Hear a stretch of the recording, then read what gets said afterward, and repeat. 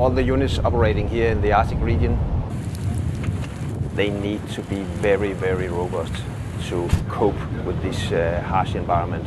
It's just prevent any aid from the outside. You need to bring everything yourself.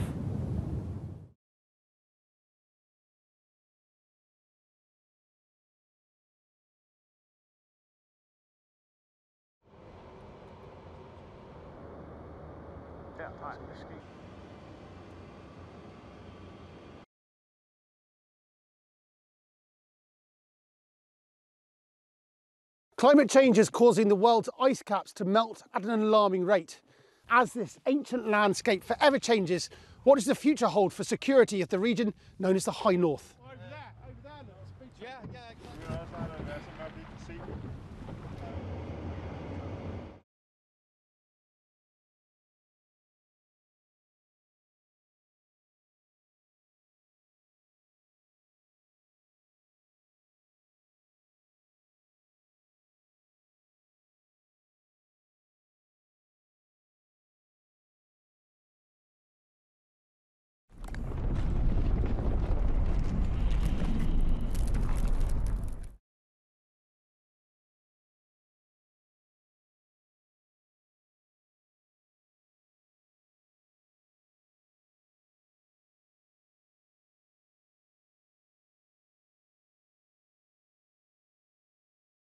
The GIUK gap, Greenland, Iceland, and UK is, is uh, hugely important for NATO. Uh, uh, it's what ties the, the transatlantic uh, bonds together. That's uh, the way we uh, we would get the reinforcement from the from North America in a conflict scenario in Europe.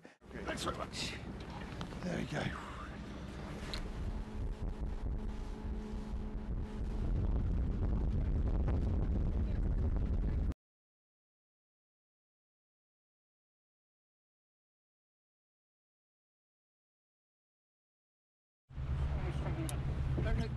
Right now we are coming alongside the HDMS Triton here and they're going to winch us up onto the ship.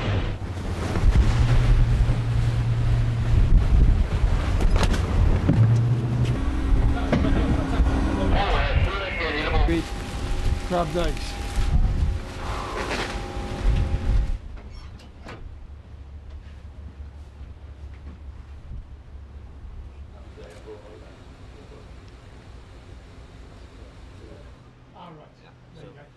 it is spectacular. Can you give us some idea of just the vastness of this area? It, it's extreme distances, so you need to think ahead about uh, the ship's performance, about the crew skills, and about logistics. We start to feel a growing interest from other navies that uh, also wish to explore the northern region, and of course we want to keep the sovereignty and protect the interests of Denmark and uh, also our allies up here. Therefore, we are very pleased to share our knowledge with uh, others and especially I mean, it's the sea level that's changing and it's the amount of ice that is changing. Let's take an example here in the Bay of Disko where we are now.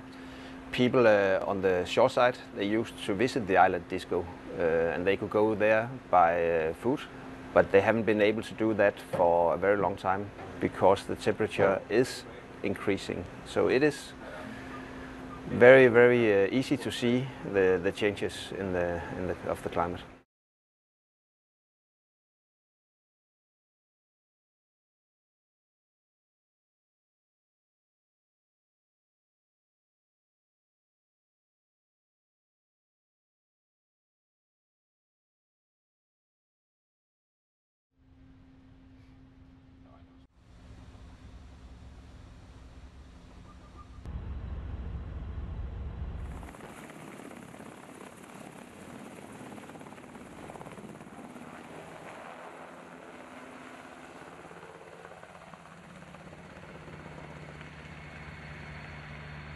Men I skal have de her to tampe, der stikker ud, dem skal I skære af. Okay. okay? Det er det over en kordel og under en kordel.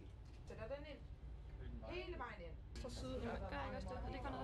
Jo. Left one. Yeah, that's right. I got it right. Yeah. Fantastic. Thank you very much. I got it right.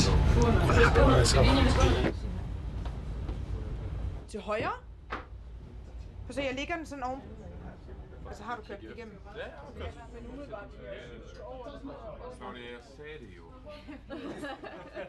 So this is the ice splice, is that right? Yeah, And how is my ice splice?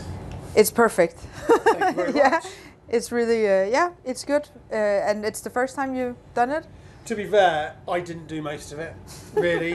Uh, I saw had a you got of some help. Yeah, I did have a lot of help. Um, Yeah. You're in such a small, limited space for such a long period Mm. of time.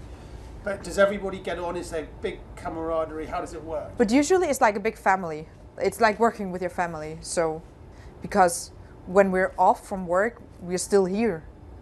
We, it's like 24 hours a day. Never ends. Is this your first time to Greenland, or have you done? No, I've done it uh, multiple times. We learn to have a lot of respect uh, because the North Atlantic Ocean is one of the harshest uh, oceans in the world. We really do have uh, respect for the waters up here. So that's also a common sign. Nature documentaries.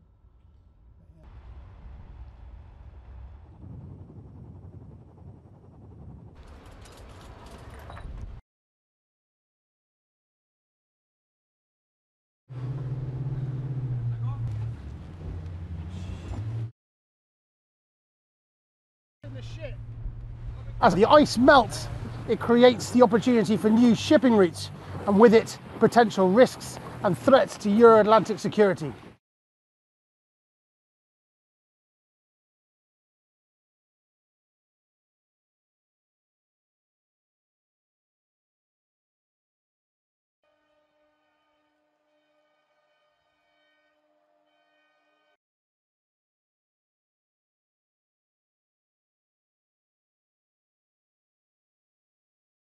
Our area of responsibility will be more used by by the whole world.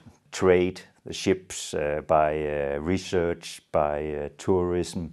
So so there will be more people in our area and that of course uh, uh, gives us a challenge both in the surveillance part but also in the search and rescue part. Uh, we need to be capable to handle that. So there will be challenges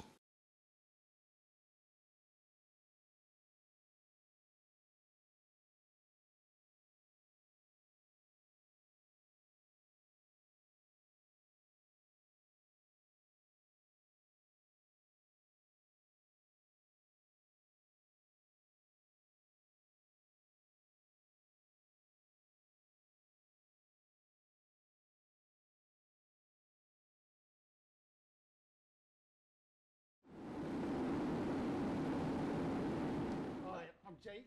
Finn, nice to meet you. Finn, very nice to meet you. Thanks so much for having us. Really We're here, Sondrestrom, going out through the fjords, up along the coastline, inspecting for the ships, uh, in around uh, counterclockwise around uh, Disko uh, Island. And when we're done with inspection, we go back home. So when you say we're inspecting for ships, what are, what are, we, what are you looking for exactly? Uh, uh, we have a general idea of what's uh, out there today, and uh, we're just going out and uh, see if everything is like it should be. And uh, the, the ships there, the fishing ships, uh, see uh, if they have the uh, permissions to be there, and just making sure that they are that they are what they are and uh, where they are, and do what they were supposed to do. Yeah. So essentially, you're creating a kind of maritime picture from Yeah. the sky.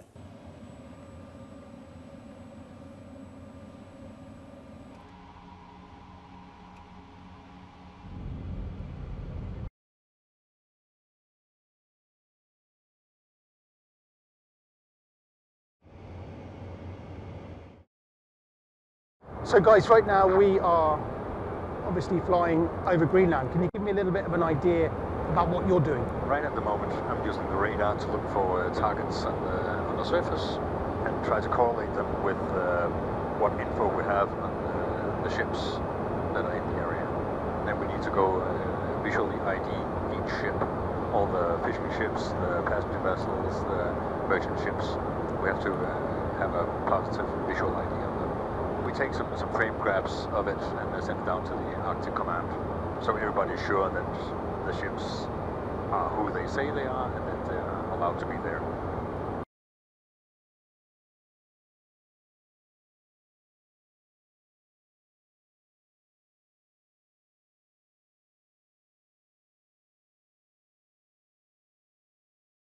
As the ice caps melt, regions like this one could become more accessible to a larger number of ships. If that happens, then the role of aircraft like this one and the surveillance that they do becomes ever more important.